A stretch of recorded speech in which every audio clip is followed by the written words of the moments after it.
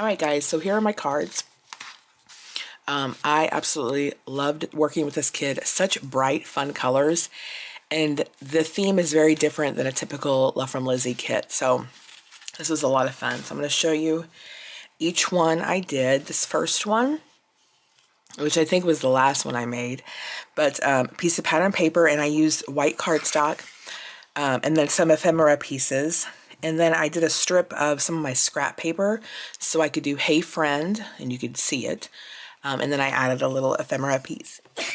I said it before, I'm really picky with puffy stickers and stuff like that. And I loved these. So they stick. They were really easy to um, take off the sheet. And they just look so good. They don't look like a cheap old sticker. So I really liked these. Looking forward to using those more. Um, definitely went straight to my stash. but I love that little sun. So cute. And such a bright, fun card. This next card, I didn't use the stamp set really at all, except for this girl, um, which is typical of me. When there's ephemera pieces, that's my go-to. But I did want to incorporate her somehow. Um, so I colored her up, really easy to color. Isn't she cute? I fussy cut her out, and I thought she would make a really cute little girl's birthday card. So then I made sure to save this ephemera piece to pair with her. And this piece of ephemera is that little iridescent cake. And I used a scallop die to cut this piece of pattern paper out. And then I also used some of the, the circle, they're clear glitter peel-offs, um, but the circle shape. And I added, I kind of thought they looked like bubbles, which I thought was really cute. And I typically don't use these. I just am in love with the pinstripes, but I really like how these came out. My next card, again, I was trying my best to incorporate at least one from each of the um, supplies that came in the kit, the stamp set. And I wanted to use the little paper clip. This does come right off, but if you don't want it to come off, you can always um, add some adhesive to it or tape it on the back where nobody sees. But I thought if, if I do pass this card along or whatever, someone could take this off and use it. So I really like this big old bird. By the way, the this pattern paper is from the 12 by 12 sheet. This I love because um, it was good pattern paper if I wanted a really subdued background. Um, so a lot of times if I want a subdued background, I'll add a plainer um, pattern paper because a lot of times, you know, I love this, but if you put anything on, on it, it kind of gets lost. So this was great. Um, and all these are ephemera pieces. This butterfly was one of those that you could fold, and I just cut that right off and trimmed off the little perfor perforation uh, pieces so you couldn't tell and um, added that to it and I added some sequins and I used the mint colored cardstock. This next one, this again was a ephemera pieces that you could fold. I really wanted to use these. I just thought they were so cute and there was coordinating pattern paper. Again, this pattern paper is really loud, both of them.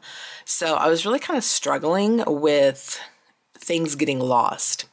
And so then I grabbed this piece and once I stuck this on, it's like everything really popped. I think because when I first look at this card, this is what I see first not the background. So I see this and then I see the cute little cups. So this worked out really well. And then um, I did use a peel off. And this was part of the uh, new release add-on peel off package and some sequins. And also this was um, attached to I think three other pieces and I just ripped them apart and uh, used that which I thought was really cute. Let's see. Okay, this one, very simple card, and I was trying to add more to it, but the more I added, the more I didn't like it. So I'm like, you know what?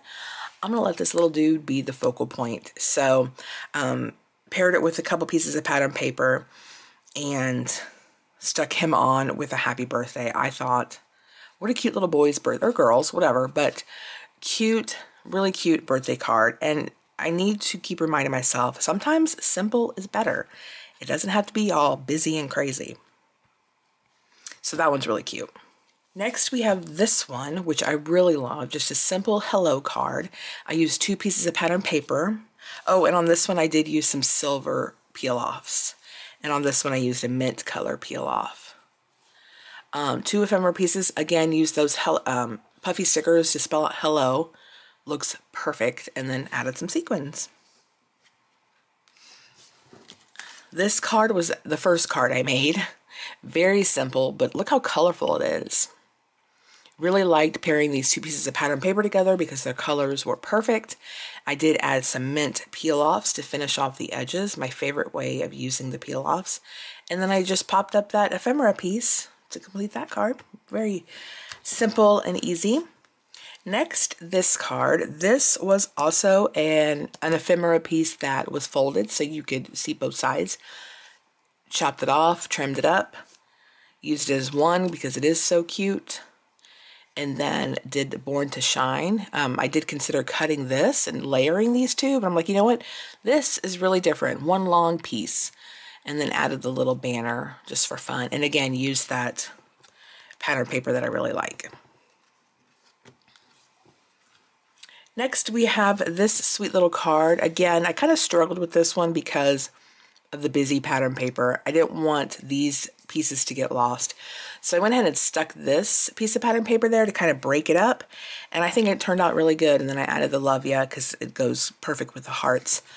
Um, didn't add any peel offs. If I had it to do over, I would. Um, but you could just kind of see the difference of how finished the edges look compared to this. I mean, it doesn't look horrible, but look how much better to me this looks, in my opinion, than this. I just think this is such a nice touch to finish off the edges. Regardless, really cute card. And finally, this fun card. Look at this. I was trying, and this was towards the end, I'm like, I need to incorporate this pattern paper with one of the dancing or the skating or the hula hooping unicorn. And it is just so cute. And I had, I didn't want to cover this up, but I made sure to have him peeking out and then the radio, which matches the pattern paper. Don't quit your daydream and then added him. And then I added this strip again to kind of break up the, the pattern back here. Isn't that sweet? So, I hope you guys enjoyed this. As of filming this, the kit is still available. I'm going to post this as soon as I'm done. Um, so if you're interested in the kit, it will be linked below, as well as the add-ons. If you wanted to see an unboxing of what came in the kit, I will have that linked below as well. Um, and let me know what your favorite card was and if you picked up the kit. Uh, what are you looking forward to working with the most? this was a lot of fun. I like this uh, theme, and I hope Lizi does this theme uh, or the bright colors and the kind of fun ephemera more often. It was really a lot of fun to work with. So thanks for watching, and I'll catch you next time.